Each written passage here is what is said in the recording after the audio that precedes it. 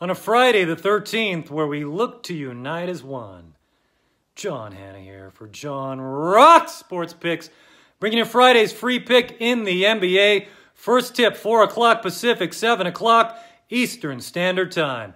Huge special shout out right now to Mexico City, Mexico. I appreciate all the messages. Been talking to a lot of you guys.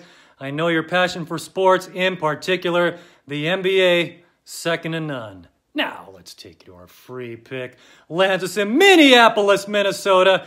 Los Angeles Clippers skipping a town, 19 and 7 on the year, covering five of their last six. Only game they did not cover was that throwout game in Milwaukee. Meanwhile, Minnesota has dropped six in a row. Jeff Teague Game time decision. Lou Williams, Patrick Beverley, out for the Clippers. It does not matter as this team runs deeper than anybody in the league. Lay the five and a half with confidence. Clippers.